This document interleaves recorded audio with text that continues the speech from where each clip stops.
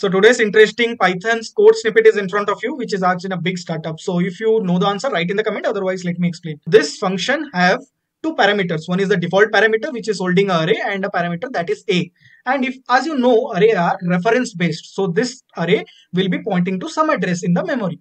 So what we are doing, whatever a we are getting, we are simply appending it to the list or L and then we are returning the L. Okay, that is what we are doing. So here in the first one, what will be printed? The first one will be printing simply one because it does not contain anything. This everyone can answer. But the next steps comes very interesting because as this is an array which is referencing to a single point and then what you are doing?